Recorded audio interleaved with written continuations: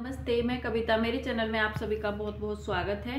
Friends, आज की video में सीखेंगे हम प्लाजो कुर्ती बनाना, जिसके लिए हमारे पास ये तीन मीटर प्लाजो के लिए कपड़ा है। ये हमारा क्रैप का कपड़ा है, जिससे हम प्लाजो बनाएँगे और ये हमारी कुर्ती का कपड़ा है।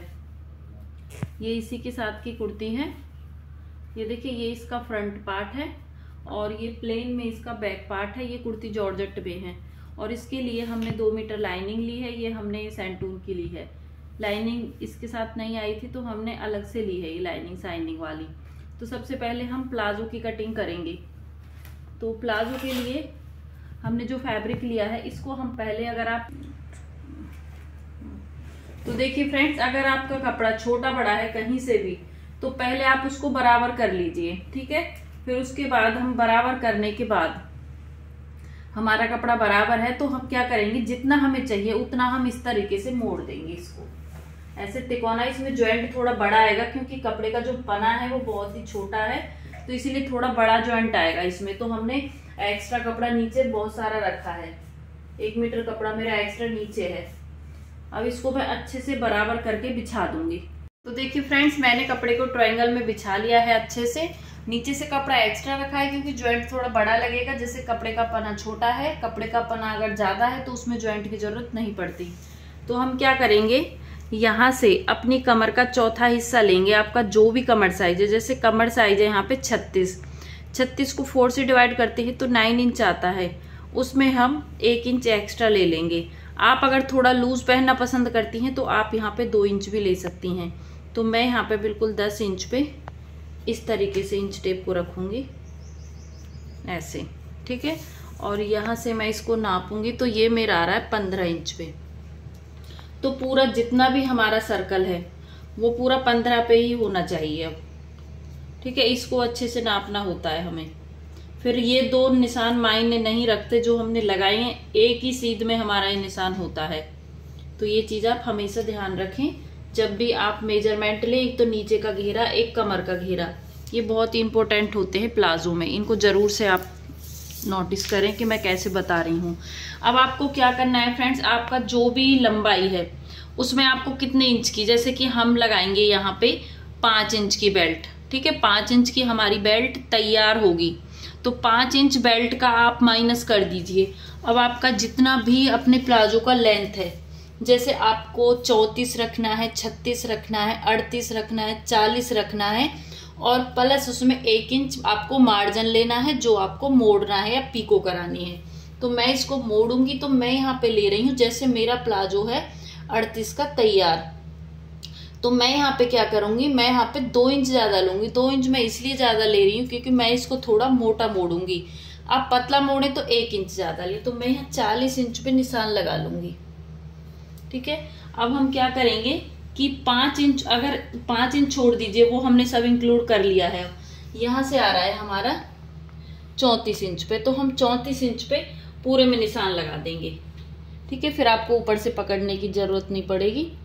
तो थर्टी फोर पे हम पूरे में एक गोल सर्कल बनाएँगे। और ध्यान से देखिए मैं इन स्टेप को कैसे रख रही हूँ। छोटे छोटे आपको ऐसे डॉट बनाने हैं। डॉट में ज़्यादा गैप ना करें ताकि जब हम इनको एक दूसरे से लाइन अप करें तो हमें ये प्रॉब्लम ना आए कि हमने कैसे ये निशान अटैच करना है। कई बार होता है ना, छोटा बड़ा हो जाता है, वो इसी की वजह से। तो देखिए फ्रेंड्स, सभी जो लाइन मैंने छोटे छोटे डॉट बनाए थे, आपको क्या करना है, इस तरीके से एक दूसरे के साथ इनको ऐसे अटैच कर देना है। तो मैंने दोनों कर लिए हैं, अब हम आसन का निशान लगा लेंगे। तो आसन आपको, अगर आप हेल्दी हो तो आप थोड़ा सा आसन अपने हिसाब से मतलब बड़ा रखें। तो पाँच इंच तो हमारा बेल्ट का हो गया। ठीक है तो हम अपने आसन की जो लंबाई है, वो पंद्रह इंच पे लेंगे। अगर आप हेल्दी हो तो आप सोलह इंच तक ले सकती हैं। तो यहाँ मैं पंद्रह इंच पे निशान लगाऊँगी। यहाँ से मैं लूँगी दो इंच पे। ठीक है, और दो इंच को हम इस तरीके से ऐसे बनाएँगे इसको। ऐसे। और यहाँ से हल्की सी गोलाई दे देंगे इसमें। कमर वाली साइड से कम नहीं करना है आपको। अब बस इसकी हम कटिंग कर देंगे।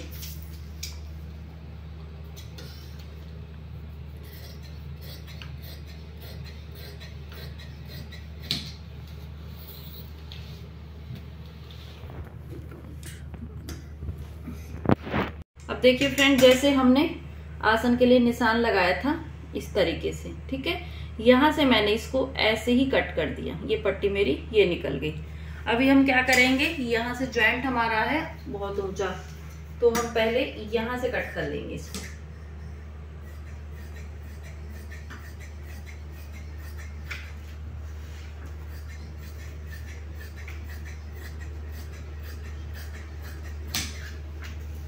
तो हम क्या करेंगे? यहाँ पे ज्वाइंट डालेंगे। तो ज्वाइंट डालने के जो जो हमारा फैब्रिक बचा है उसी को हम ऐसे रख देंगे। इस तरीके से उठाएँगे और जो ये छोटे कपड़े हैं, इनको यहाँ पे मिलाएँगे। वैसे मैं आपको एक एक पीस में लगाएँगे ज्वाइंट ताकि हमें नीचे का दिखाई दे। यहाँ पे रख के हमको दिख रहा है थोड़ा थोड़ा तो मैं उसी हिसाब से एक इंच चढ़ा के रख लेंगे इस कपड़े को। ऐसे। तो देखिए फ्रेंड्स ये इसका जोड़ है, जिसको मैंने उल्टा कर लिया है और ताकि मुझे ये पता रहे कि मैं इतना फैब्रिक कट करूँगी। ठीक है? तो हम क्या करेंगे? जितना हमारा ये फैब्रिक है ऊपर वाला, उतना ही हम इसमें जोड़ के लिए कपड़ा ले लेंगे।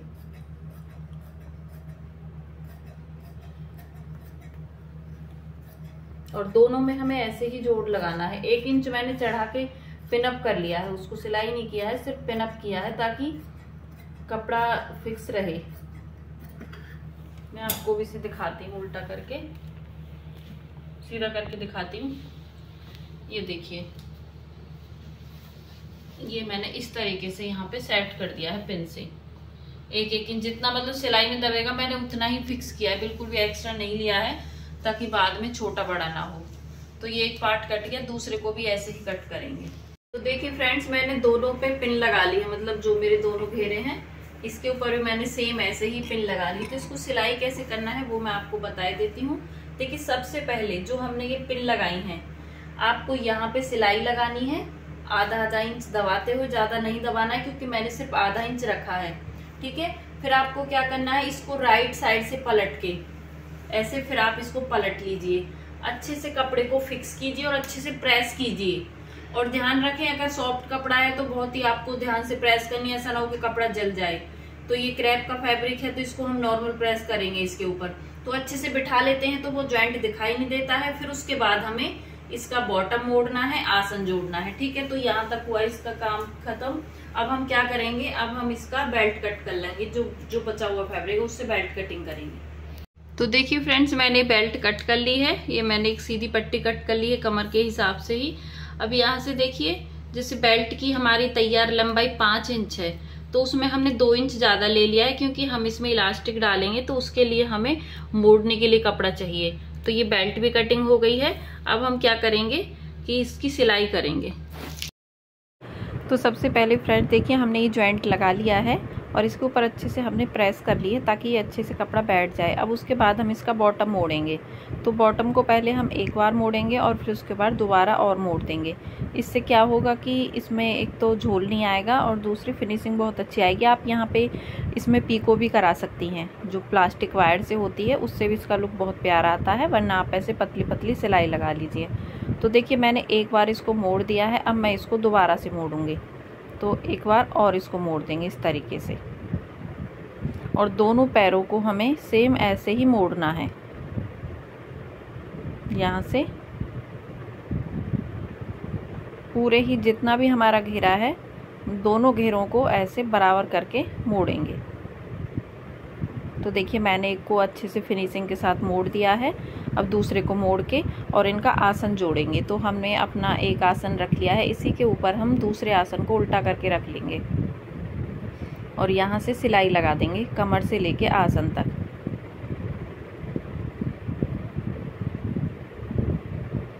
ये देखिए, ये हमारा यहाँ से बिल्कुल बराबर हो गया है। अब हमने ये आसन सिल लिया है अपना और अब उसके बाद हम अपना बेल्ट लगाएँगे। तो बेल्ट को हमने थोड़ा सा जॉइंट लगा लिया है। एक आसन को सिलने के बाद फिर बेल्ट लगा दे। तो बेल्ट को उल्टा करके रखना है आपको सीधी साइड को और इस तरीके से सिर्फ़ सिलाई लगा देनी है।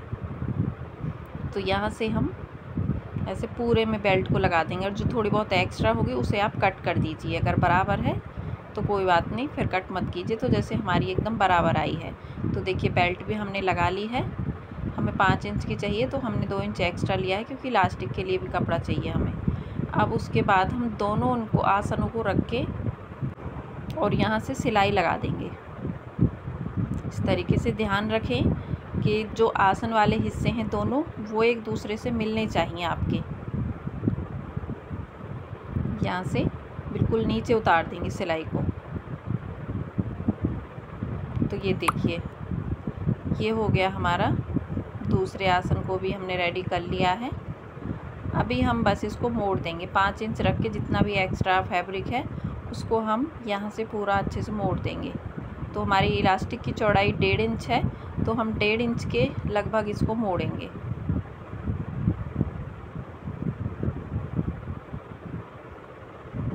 थोड़ा सा कपड़ा मैंने ओपन रखा है। अब यहाँ से हम इसको पूरा इलास्टिक को डालेंगे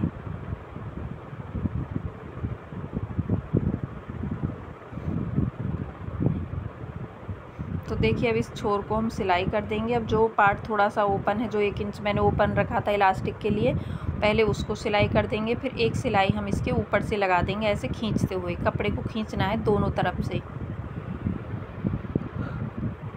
और सिलाई को अच्छे से बराबर करके आप लगा, लगाइए। एकदम सेंटर में चलनी चाहिए सिलाई।